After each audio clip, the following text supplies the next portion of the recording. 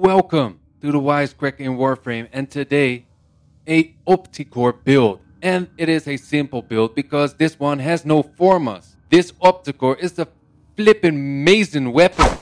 Look at the damage on the left hand side. It is mostly puncture and a little bit of radiation and viral damage. And as you can see, the mods that are used are damage mods and the multi-shots mod. So this build is pretty simple, but dangerous. The first thing I want to show is that you cannot shoot through your allies, supposedly, because I, I couldn't hit my enemies when when my allies are in front of me.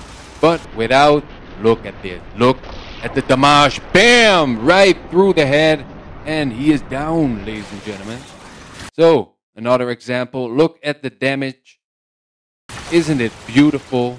Some viral damage. And here is an example of some radiation damage.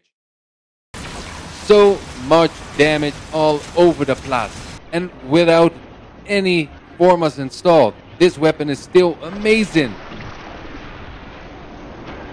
After a while, the, the, the level of the enemies will get higher and higher, but still this Opticor has no fear of any bastards surrounding him. He will kill anything. The only disadvantage is, well, you have a charge time and the reload speed is pretty slow. But, ladies and gentlemen, the charge time and the damage that comes from it is so amazing. I fell in love with this weapon immediately. And as you can see here, this weapon also does AoE damage. So if you aim at the ground and enemies surround that spot, well, a couple of enemies will get hurt of that charge. So also that is an advantage of this weapon.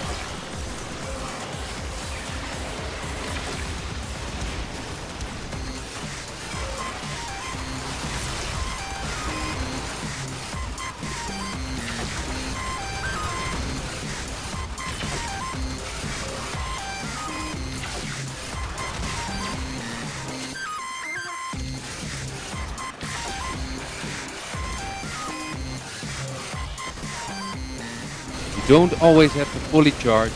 You can also half charge and still hit your enemies, but it will be less damage.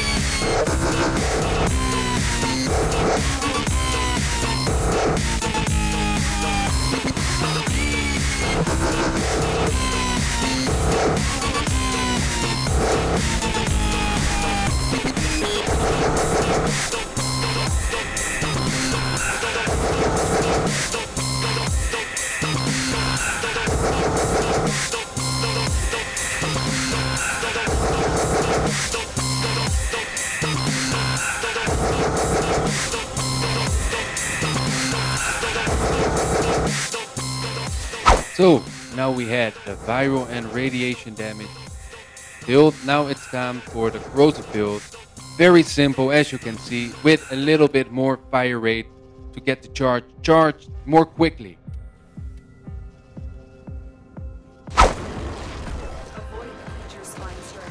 So the forward is the silly little bastard that will die by my hand.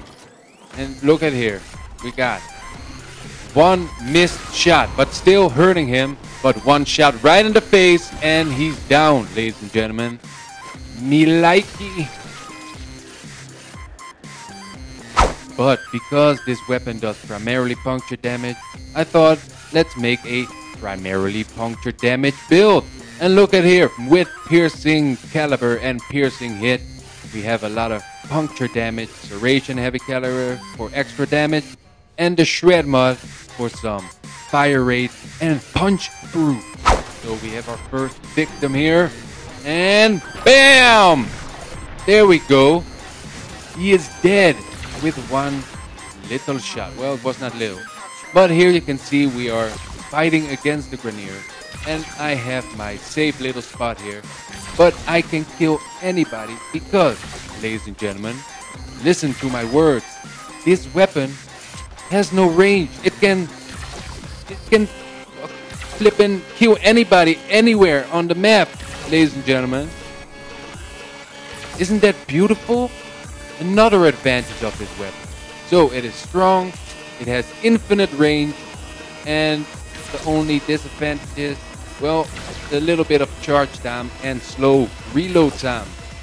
But again, without any forma and only a Orokin Catalyst installed, this weapon is flippin' amazing.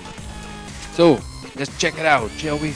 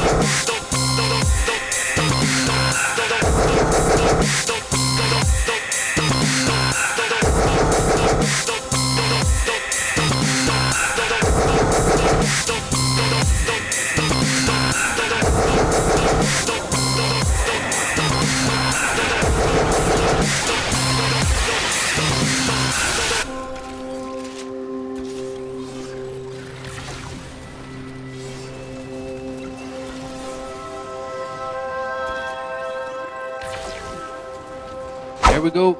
I hope you enjoyed it. Check me out on all my other videos, and I hope to see you there. Adios. The second ability is called Ice Wave, where you send a wave of ice towards your enemies. And this is one of the abilities that is that is improved. Because look at this. Look how powerful it is. I, I keep my enemies in a corner just with this ability, ladies and gentlemen. They just they just keep spawning there or just fall from above. I don't know. But never mind. Just keep getting the ice wave right up their butts. And here you can see my, my little contraption.